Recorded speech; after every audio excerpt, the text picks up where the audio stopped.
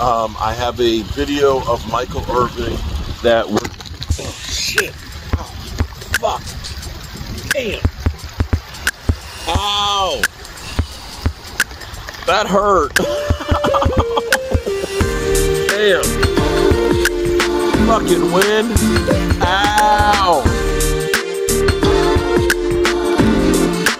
Boy. Well, good morning, good people. Mark Holmes here, of course, with my buddy Cowboy Jobu, as well as Joe Bear in the house. And as always, I want to say thank you all for watching, commenting, subscribing, and being part of the Jobu Sports Report. Without you guys, as well as you ladies, you know that this literally does not work. So let's get open for business here and let's wake up the football gods. You know, um, I love that clip actually. Um, that was last year about a year ago, sitting out there at Fish Pond, gust of wind comes through, knocks the, the um, tripod, literally bumped me right in the face. You know, if you can't laugh at yourself, then definitely don't be on YouTube because you're going to get all kinds of stuff that's going to happen, uh, things that'll surprise you. You might find out you got something over here in the corner that you didn't expect. You're going to get trolls. You're going to get people who hate you, people who want to make fun of you and all that. And so all you got to do is laugh that shit off and realize that every one of those views of somebody making fun of you are views. And that's what it's about as far as YouTube is. Is people want to watch you for whatever reason. Love you, hate you, despise you, want to hang out with you. YouTube doesn't care. They only care that you're watching. So here we are. We've got the OTAs in the bank uh, for this week. We still don't have CeeDee Lamb or Micah Parsons. We hope to see Micah Parsons this week coming up in the next round of OTAs, which are organized team uh, workouts, uh, activities. Actually, we're talking about practice, not not the game not the game, it's the practice. Although I will say that they are very, very important because if you listen to Mike McCarthy's press conference, he talks about the installs. The installs are basically the game plans, teaching the plays and stuff. And today's NFL is a lot different than what it used to be. When you used to have six weeks of training camps, you had two a days, where you basically were working your job in the off season. You saw up a training camp, and you're doing all the install and all the work and all the practice, practice and prep, preparation for the seasons during that six weeks, and having your four preseason games to go ahead and get all that stuff together. Now you have a shortened off season shorten OTAs and less work. And some teams don't even use all their practices. They basically want to say, we want to get our players healthy going into season. We'll use the first few games as preseason because that's really the only time that you actually are going full go. You don't tackle to the ground. You don't have as many padded practices. The only time you go full speed are those games. And to equate practicing today in NFL versus playing the game. If you were a NASCAR driver, imagine all of your practice was at 55 miles an hour. And then come race day, you're driving 200. That's literally what you're doing between practice and the games. And so some teams start out better in the season the teams that have had more players that have been in the system and so on that know what they're doing versus teams that typically are bringing or changing or new coaching, new offensive philosophy will take longer to get on the same track. And you could see that evident last year with the Cowboys because the defense having Dan Quinn being there with the same players for several years, basically, starting out being the strength of the Cowboys, the Cowboys offense, bringing in Brandin Cooks and changing the offensive play caller to Mike McCarthy from um, Kellen Moore. There was a learning curve that it took a few weeks for them to really get a grasp of this. The good news, at least for the offense, is well, we're going to be going into the same offense with basically the same players. So the offense should hit the ground running. The defense, on the other hand, may start out slower because it's got a different philosophy. Dan Quinn's philosophy was we want fast, lean, physical guys. We want guys that can rush the passer. If you look at the builds of the guys, everybody is taller, slimmer, and faster, which is great if you're playing with the lead. It is great if you know the other team is going to end up passing the ball a little bit. It's great if your linebackers are smaller safeties that are covering. The problem comes is when you are having to stop the run, which is playoff football, and you have a safety playing linebacker, then you have problems. When you have lightweight defensive linemen that are getting double teamed, you have a problem. And so this is the change in philosophy. Now, some of the problem, of course, was we counted on guys that could not end up playing. We had a lot of hopes for Overshown, DeMarvion Overshown, to come in and actually play well for us as a weak side linebacker. He showed well in preseason, but unfortunately tore his ACL. Well, the great news for the Cowboys is Overshown is way ahead of schedule from having his ACL torn. And it was actually fortunate that he tore it when he did because it gave him more time to heal, as opposed to Michael Gallup when he tore his in the playoffs in uh, February. You were looking at Overshown tearing his back in August, which gave him about an additional five months to recover. The great thing on Overshown, he's going to be playing weak side linebacker, and the weak side, um, or the will, whichever one you want to call it, but that's basically what it is, is the weak side. That is the guy who typically will cover guys in the slot. That is the guy who is like the chasing linebacker, who is a little bit quicker and is the playmaker as opposed to the strong side or the middle linebacker.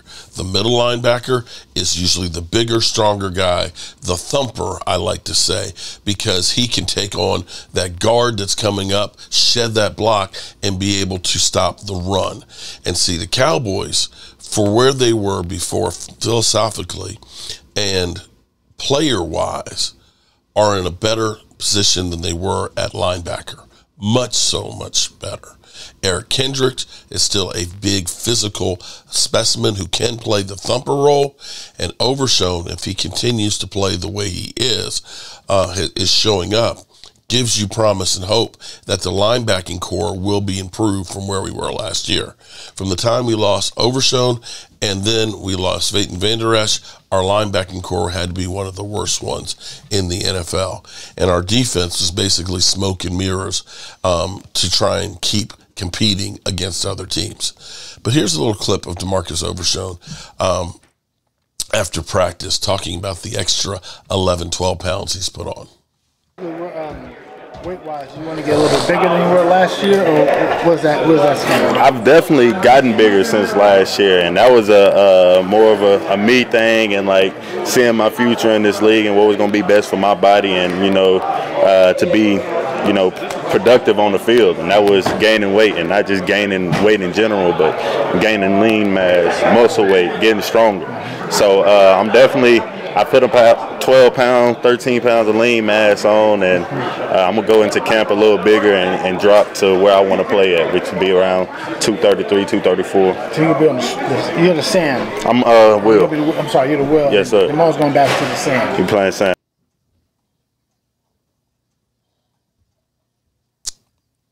A little technical difficulty here.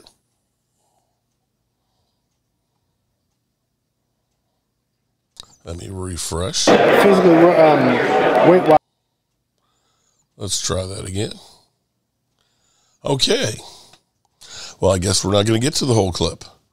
But Overshown is definitely is definitely getting his body right and getting um, getting himself in shape and ready to rock and roll. Um, I can't wait.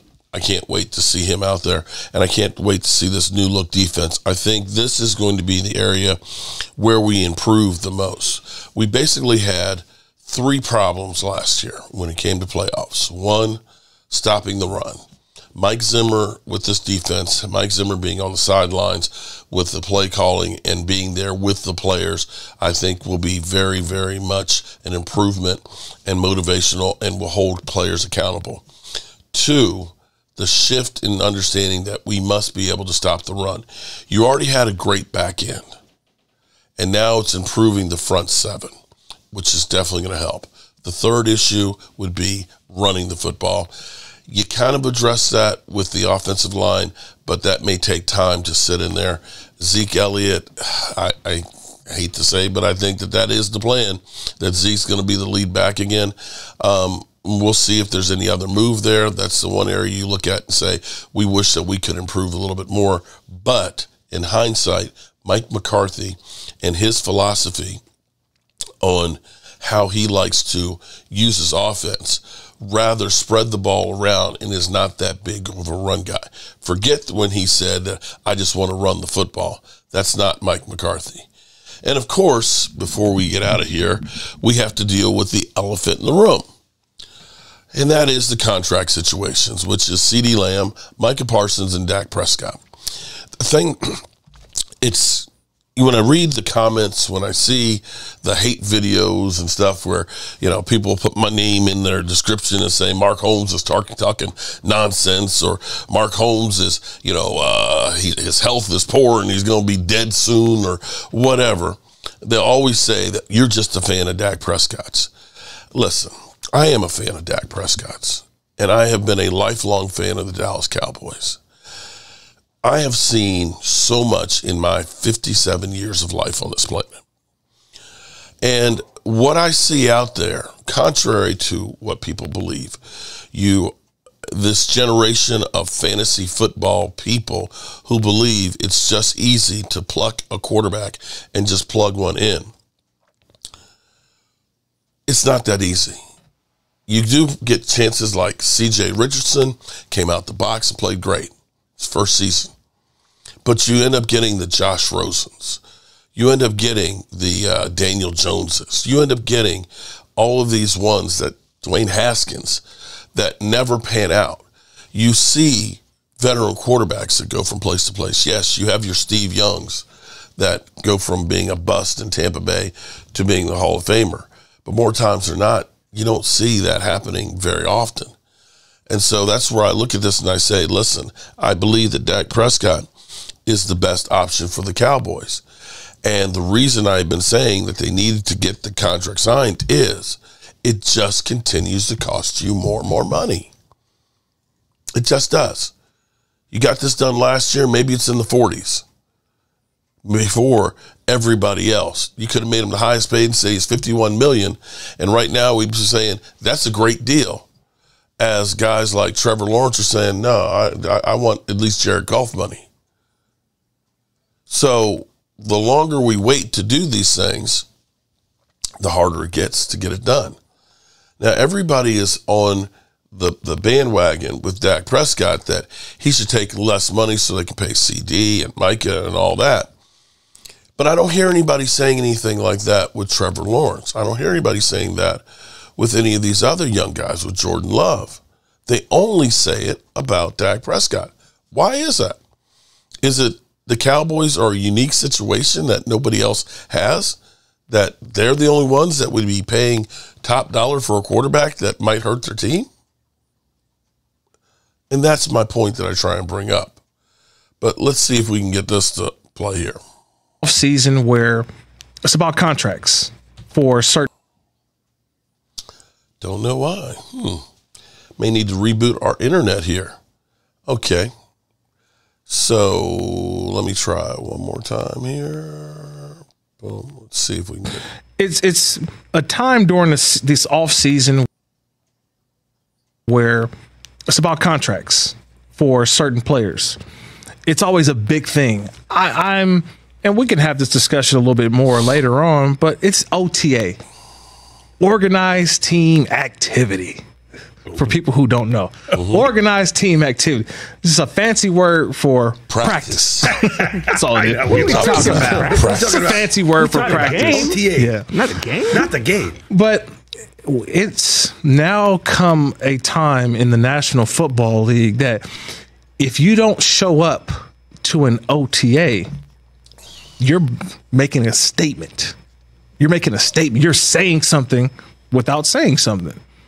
Now, a lot of players who are not currently at their team's OTA more than likely have a contract dispute or a mm-hmm. contract issue.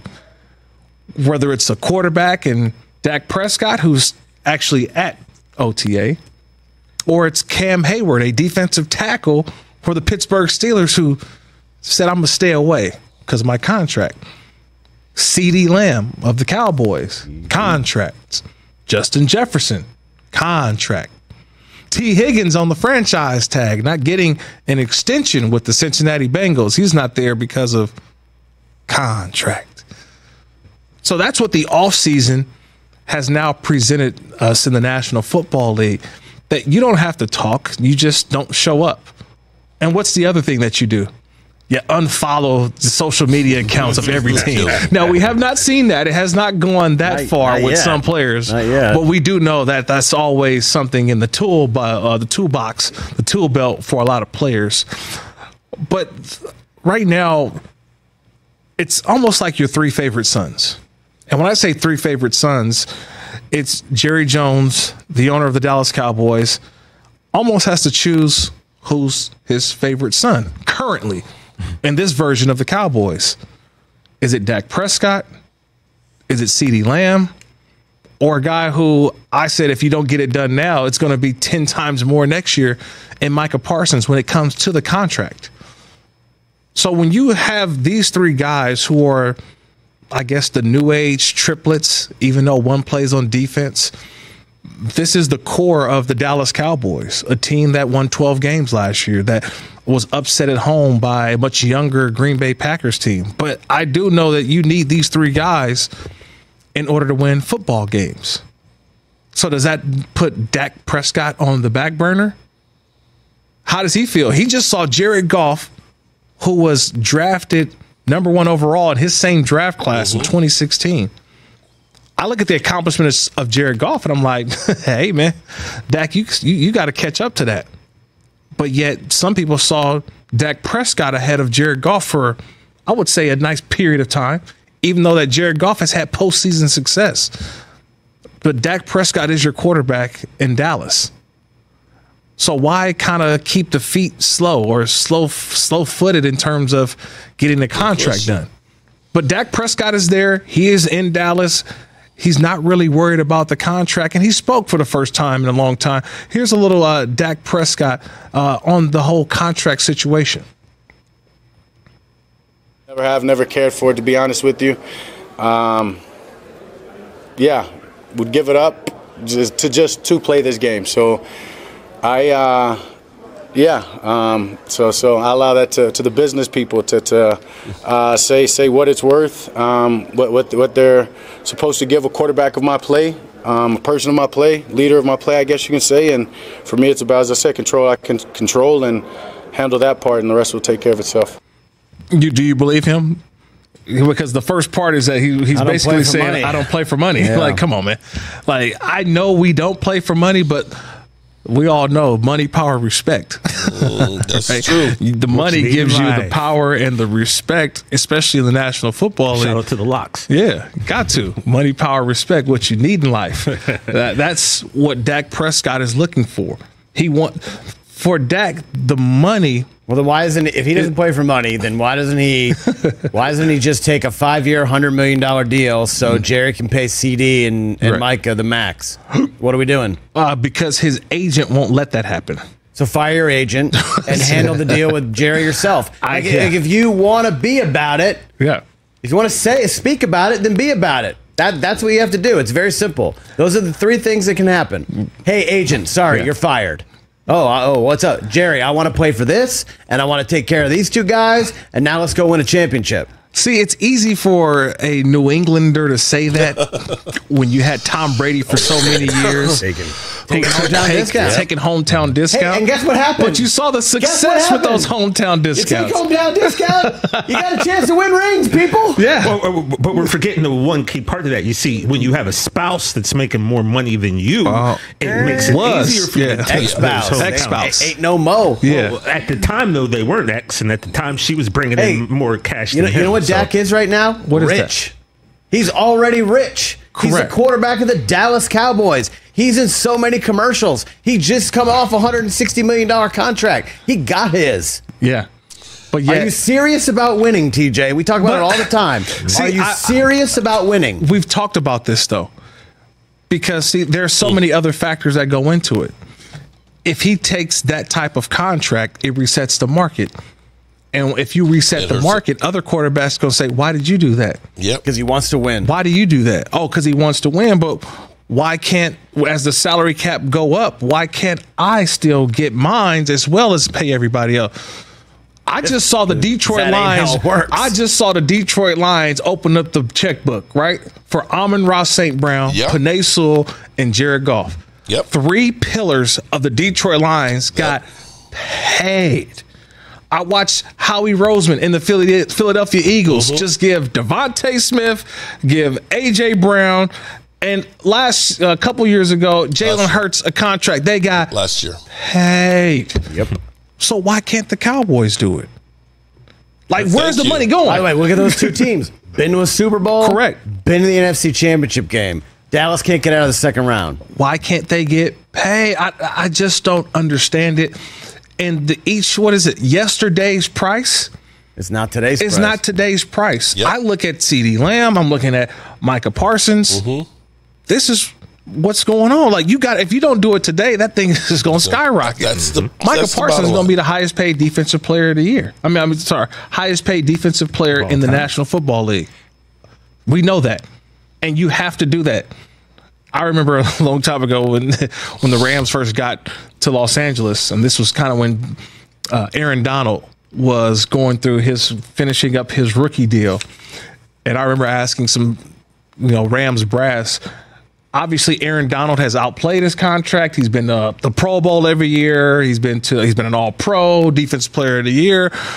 So how do you pay that? How does the contract start? He says, well, we just give him a blank check and just fill it out because that's the kind of player it is. Like that that type of player. I think Micah Parsons is on that same trajectory, and if they don't do it this year, this is what it's going to look like next year. Mm-hmm. That you're going to have to give him a blank check, which takes up the whole entire, not the whole entire, but a good chunk of money. Mm-hmm. And we'll see, especially with a new defensive coordinator, like I Mike Zimmer. So that's what's going on with go. the Dallas Cowboys. I'm keeping my eye on it for the most part.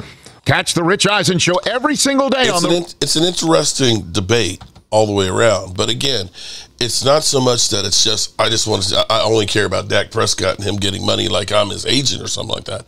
I just look at it and say, here's the best thing for the Cowboys to be able to do. Now I I can look at it from a standpoint of saying that the Cowboys could look at it and say, we're better off taking the $55 million hit this year, getting that out the way, and getting the contract done. So that way we absorb that money next year. I mean, this year. Next year, we only have to absorb the $40 uh, along with the new contract because now we're talking about a new contract and $90 million rolled in, you know, to save some money. And they're looking at this and saying, where do we need to spend all this money right now? We got nine million dollars, nine and a half million dollars coming, you know, uh, the first of June. Okay, a week away, and that'll give us about fourteen million. That gives us enough to go ahead and make some hay, you know, to bring in a couple other players and make it through the season.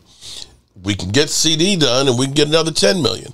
So where's the urgency to say that we have to get that money from Dak Prescott's contract? We can take that. And the thing that's crazy to me is, ain't nobody talking about the Cleveland Browns and their situation where they have a $63 million hit this year, next year, and the year after on Deshaun Watson. Ain't nobody talking about anybody but Dak Prescott. But that's the way it is when you are the quarterback of America's team. And as always, I appreciate each and every one of you guys. We'll be back on track tonight with our live stream at 9 o'clock Eastern here. And I will see you guys there soon. Peace out. Mark Holmes here, and as always, I want to thank you all for watching, commenting, subscribing.